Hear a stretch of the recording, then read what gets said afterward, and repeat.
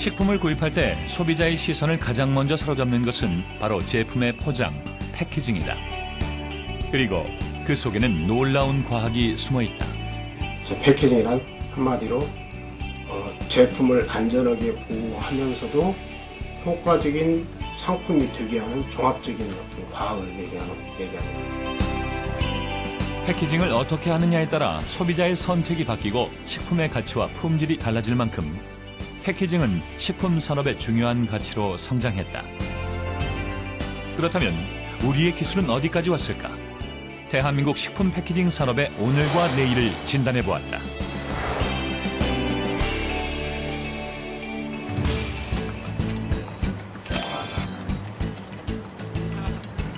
식품과 관련한 많은 기술을 보유하고 있는 네덜란드의 와게닝겐 대학.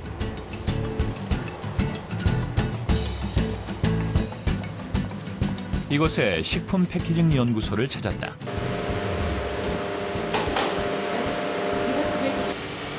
Yeah, so this is a setting where we can measure You can see each container has its own level. the physiological process, the metabolomic process inside the products that we need to optimize and to choose what are the best packaging materials to, uh, to, to use. This is all different, uh, different materials with all different 그리고 다이나믹 웨이가 더 필요하면 식품을 신선한 상태로 가장 오래 보관하기 위해서는 어떤 재질의 포장지를 이용하는 것이 좋은지 다양한 실험을 통해 분석해낸다. 이 외에 식품의 보존력을 높일 수 있는 환경과 조건에 대한 연구도 진행 중이다. I'm testing five different cultivars for their ethylene production and the in the harvest phase. Normally, ethylene production is uh, is measured at uh, higher temperatures. Here, we can also measure directly immature fruit, uh, the ethylene production at low temperature, as is the commercial practice to harvest them and store them at a cold temperature. 같은 제품도 보관 방법에 따라 제품의 가치가 달라진다. 식품 산업이 성장하기 위해선 좋은 제품 개발만큼이나 패키징 기술을 높이는 것이 중요해진 것이다. 이러다 보니 좋은 기술은 그 자체만으로도 높은 부가가치를 낳는 황금알이 되기도 한다.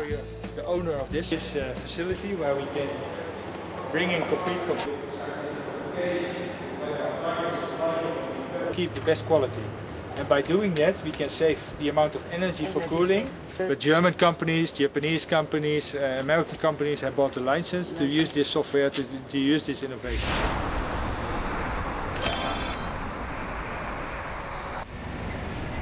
아시아의 경제 강국 일본. 아마 많은 사람들이 눈길을 사로잡는 패키징 하면 일본 제품들을 많이 떠올릴 것이다. 식품 산업 역시 예외가 아니다.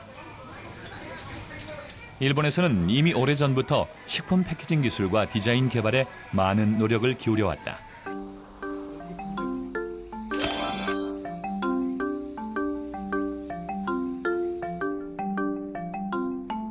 일본의 대표 식품 회사 하우스.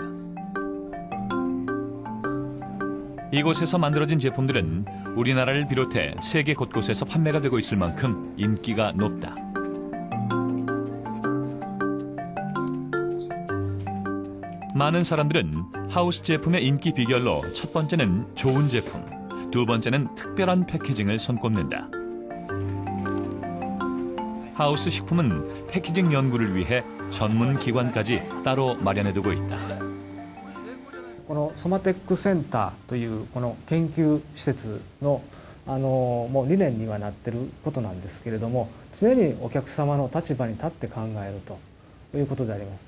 で我々がこの作りたいものを作るんではなくてお客様が欲しているもの、まあ、そういったものを開発していきましょうというところでございますのでで我々もその理念に従ってこの容器開発をしているわけであります 하우스의 대표 식품은 카레. 1963년부터 지금까지 꾸준한 사랑을 받아왔다고 한다. 거기에는 시대의 요구에 맞게 패키징을 변화시켜온 노력도 한 몫을 했다. えー今まではですねこういうあの開ける時にはですねこれ全部使い切らないとダメだということだったんですけれどもこういう一個一個切り離しができるようになったことによって、えー この一部分だけを何かこのカレー以外でも使えるというそういうあの用途展開が非常にししやすくなったと。 소비자의 입장에서 생각하고 변화시킨 패키징은 이뿐만이 아니다. 음료수 병도 기호 변화에 맞춰 크기를 줄이고 또 힘을 적게 써서 뚜껑을 열 수 있도록 병 입구 부분의 디자인도 바꾸었다. 후추통은 생산비를 절감하는 디자인으로 교체가 됐다. 예전엔 뚜껑이 세 부분으로 나뉘어 있어 만들기도 복잡하고 생산비도 많이 들었지만 이제는 제작 과정이 단순하면서도 사용하기에 편리한 뚜껑을 개발한 것이다. 그리고 최근에 소비자들로부터 가장 좋은 호응을 얻고 있는 것은 얼마 전 새롭게 출시한 고추냉이 제품. このネジ部の部分にこの溝をつけまして4方向溝をつけております。でさらに、えー、このノズルの部分を押すと、まあ、最後まで使い切ったぞというそういう満足感が得られるんじゃないかと。アルミを伸ばしますと、まあ、三角形の形状になっておりましてでこう見比べていただきますとこの爪の部分がですね、えー非常に面積が広くなっております。でお客様がこのアルミを取っていただくときに非常にこのつまみやすくしておりまして開けやすくなってると。で3点目はですね、えー箱外箱です。で外箱はこれも見ていただいたら分かりますようにえーこれが旧のものですでこれが今回改良したものですでこの高さ方向ですねでここを30ミリから27ミリ約10%高さを低くしてますお客様があのお買い求めいただいた後収納する時にもお小スペースになりましてでまあ、非常にその辺はあの使い勝手を良くしているというふうに考えております。 하우스 제품들은 편리함은 물론이고 환경까지 고려했다는 점을 높이 평가받아 일본 포장기술협회로부터 많은 상을 받기도 했다.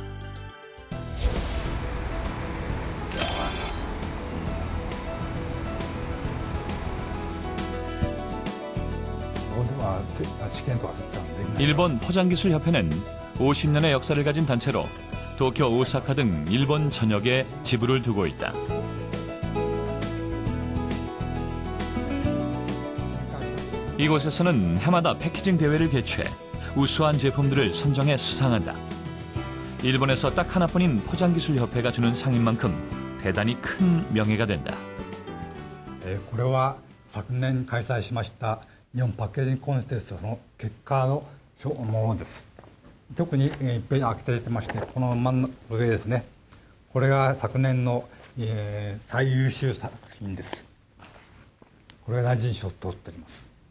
特徴と言いますのは、えーこれは一回閉めるんです開けるんではなくて閉めます閉めると中の蓋が開くんですねであ逆に回しますと、えー一緒になって、えー口が開くという感じになってきてます 사용이 편리한 고체 분유 역시 작년 대회에서 높은 점수를 받았다. こういったところで、えーこれは非常に、えー お母さん方に大変好評をいただいております 포장기술협회에선 패키징 전문가 양성 교육도 진행 중이다. 초급, 중급, 고급 세 코스로 3개월간의 연수 과정이 끝나면 자격증을 받게 된다. 이곳의 교육을 받기 위해 한국에서 오는 사람들도 있다고 한다. 昔はあの50円とか100円だったのがね容器によってあの500円とか800円で売ってますから それだけ今あの放送技術によってですね、えー売り上げ伸びてきたとと言えると思うんですね。 현재 세계 패키징 시장의 규모는 총 4,800억 달러, 우리 돈으로 505조에 달한다. 그중 69%를 차지하고 있는 것이 바로 식품 패키징 분야. 국내 패키징 시장 역시 상황은 마찬가지다. 국내 패키징 시장 규모 27.4조 원 중에서 3분의 2인 18조 원 정도가 식품 패키징 분야로 추정되고 있다. 바이오 산업보다도 그 시장 규모가 훨씬 크다.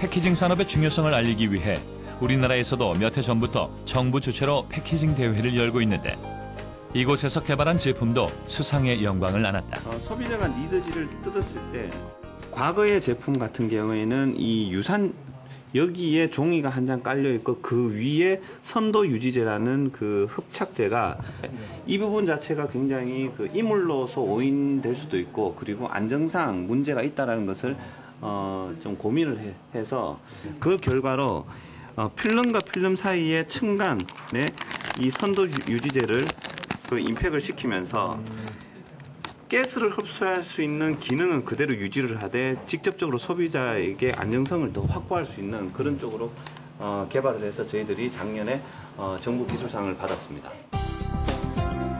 새로운 패키징 제품 하나가 개발되기 위해선 굉장히 많은 시간과 노력이 필요하다. 이제 시장 조사를 통해서 새로 출시될 딸기잼 용기 디자인을 위해 분석한 제품만도 수십 가지가 넘는다. 외국 제품 중에서 이렇게 뒤집어 쓰는 제품이 있었지만 전반적으로 이제 이렇게 세워서 사용하면서 또 한편으로는 이제 그 제품을 이렇게 뒤집어서도 이렇게 그, 그 놓을 수도 있고 또 세워 놓을 수도 있고 이렇게 두 가지 기능을 다 할 수 있는 기능이 좀 바람직하다는 쪽으로 의견이 도출이 됐고 그래서 이제 그런 어떤 의견을 모아서 어, 편의성과 안전성 그리고 이제 건강 이 세 가지 컨셉에 부합하는 용기 디자인을 개발을 착수하게 됐습니다. 고심 끝에 후보군으로 출연한 디자인만도 10여 가지. 아이들에게 친근감을 주기 위해 곰돌이 푸의 모습을 본따 만든 것부터 엄마의 사랑을 표현한 하트 모양 용기. 그리고 건강한 식품이란 이미지를 담은 꿀단지 모양까지. 세련된 주방과 잘 어울리는 디자인도 유력한 후보로 선정됐다. 그래서 전반적으로 우리가 그 세 가지 컨셉의 제품들을 이렇게 어, 2차 시 디자인을 했었는데 여기에서 저희들이 소비자 조사를 하고 품평을 해봤는데 그 엄마의 그 아기에 대한 사랑에 대한 그런 것들이 참 이미지가 좋다. 해서 이제 이런 쪽으로 거의 이제 압축이 좀 됐습니다. 패키징이 제품의 첫 이미지를 좌우하는 만큼 디자인부터 많은 공을 들이게 된다. 제품이 아무리 좋다고 해도 소비자의 눈을 사로잡지 못한다면 선택받기 쉽지 않기 때문이다. 디자인이 결정되고 나면 그 다음엔 어떤 재질을 이용해 제작할 것인가를 실험을 통해 분석한다. 용기의 이제 측면 강도가 어느 정도 됐을 때 이제 용기가 변형이 생기고 찌그러질 수 있는 부분인지 그런 것들을 좀 예측해보기 위해서 이제 저희가 이제 측면 부분을 이렇게 간이적인 기구를 사용해서 테스터기를 사용해서 이렇게 이제 측정을 하게 됩니다. 실험 결과는 제품 관리의 주의사항이나 제품 용기에 손상이 생겼을 경우 문제 원인을 파악하는 데도 큰 도움이 된다. 식품이 변질되지 않으면서 고유의 맛과 향을 오래 보존할 수 있는 패키징 방법을 찾는 것 역시 이곳에서 연구를 통해 이루어지고 있다.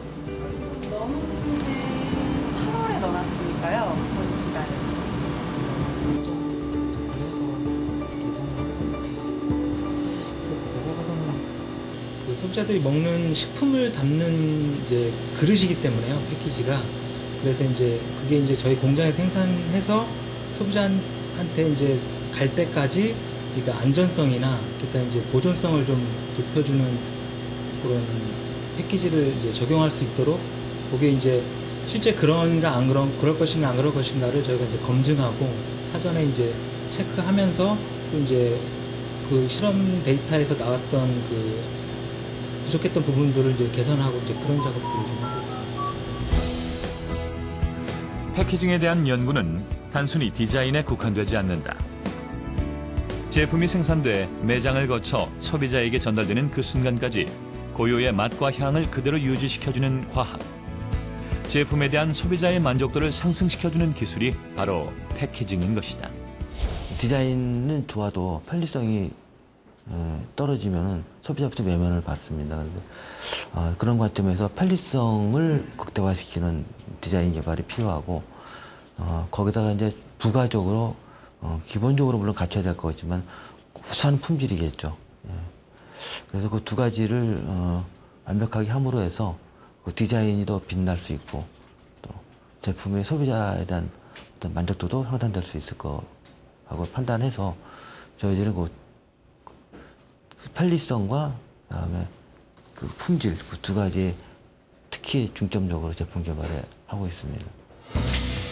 식품 산업의 발전을 위해서는 패키징 산업의 동반 성장이 꼭 필요한 상황.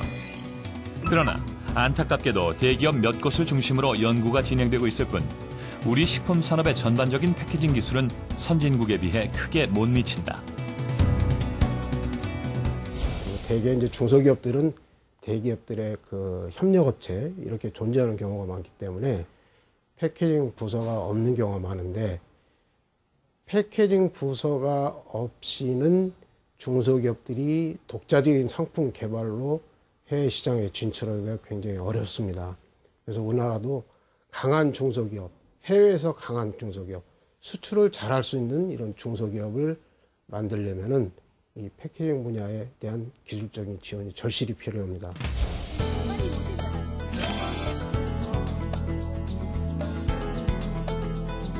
전남도청에서는 몇 해 전부터 지역의 중소기업들을 돕기 위한 방안으로 특별한 지원 산업을 진행하고 있다.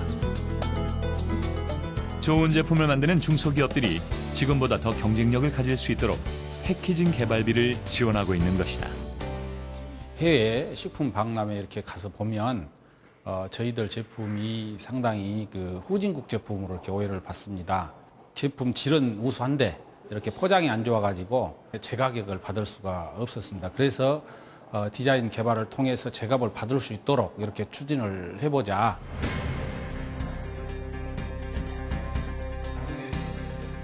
(2002년) 시작된 패키징 디자인 지원 사업으로 헛개, 유자, 미역, 톳 가공 기업 등 지금까지 318개 업체가 지원을 받았고 올해도 15개 업체가 추가로 선정돼 패키징 개발을 진행 중이다.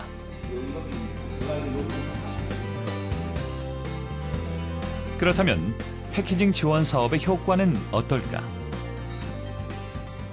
기업들의 반응은 좋았다고 생각을 합니다. 저희들이 2008년도에 그 2006년도 사업에 대해서 어, 그 성과를 조사한 바가 있는데요. 그 성과를 보면 어, 고용이 27%, 매출이 100, 한 80여 퍼센트, 그 다음에 수출이 한 130여 퍼센트 이렇게 성장을 했습니다.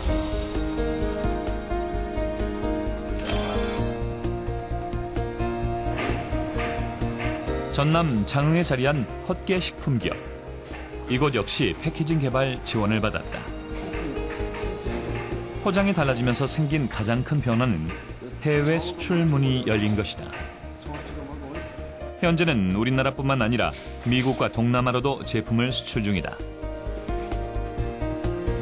지역과 중소기업청이 지정한 우수 중소기업으로 손꼽히는 등 지금과 같은 성장을 이루게 된 데에는 패키징 지원 사업의 영향을 빼놓을 수 없다고 한다. 저희들이 첫해 1억의 매출이 작년에 그 다음에 10억으로 갔었고 작년에는 20억 매출까지 상승하는데 이 패키징이 저희들이 개발되면서 큰 도움을 줬다고 생각합니다. 우리 회사가 쭉 지역이다 보니 패키징 전문 지식을 가진 인력을 구하기도 쉽지 않은 데다가 수천만 원의 비용을 들여 선뜻 패키징을 개발하기도 힘든 상황에서 도청의 지원이 기업에게 큰 힘이 된 것이다. 그리고 패키징의 중요성을 알게 된 지금 익산에 들어설 국가식품 클러스터에 가지는 기대도 더욱 커졌다. 이런 중소기업으로서 해결할 수 없는 부분들이 많이 있습니다. 저희들이 기능성 식품으로 가는 데 도움을 받는다든지 연구 개발 쪽이 되겠죠. 패키징 센터가 들어와서 수시로 저희들이 자문을 받을 수 있는 것도 큰 도움이 되겠고 그러겠죠. 정부는 식품 기업에 대한 기술 지원을 위해 익산에 조성될 국가식품 클러스터 안에 식품 패키징 센터 설립을 준비 중이다. 식품 패키징 분석 및 시험 지원을 통해 중소기업의 비용 부담을 줄이고 개별 기업의 현장에 맞게 교육 및 컨설팅도 실시할 예정이다. 그리고 전문 인력 양성을 위한 교육 시스템을 개발 운영할 계획도 갖고 있다. 자, 지금 식품 클러스터 내에는 약 150개에서 작년 200개의 그 식품 기업들이 입주하게 됩니다. 그 기업들의 부가가치를 향상시키고 글로벌 수출을 위한 활동들이 전개될 텐데요. 이러한 그 부분에 있어서 패키징이 그 역할을 함께 담당할 수밖에 없을 거라고 생각됩니다.